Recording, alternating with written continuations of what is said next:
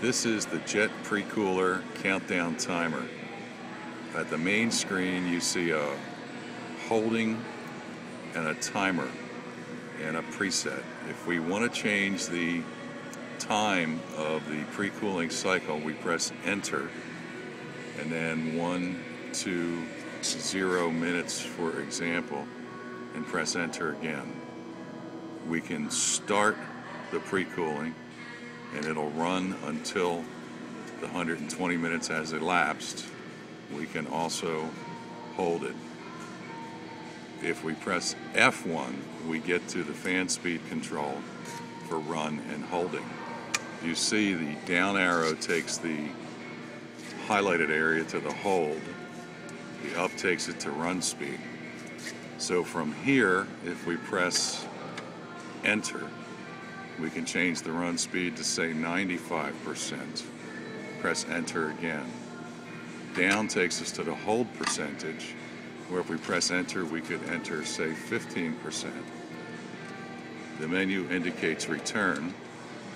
So now we start the timer.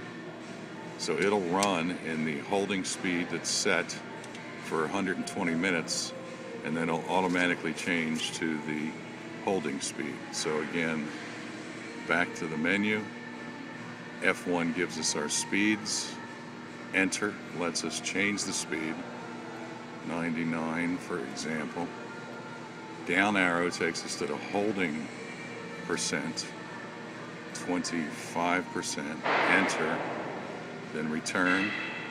And we start the timer. The flashing lights indicate the status.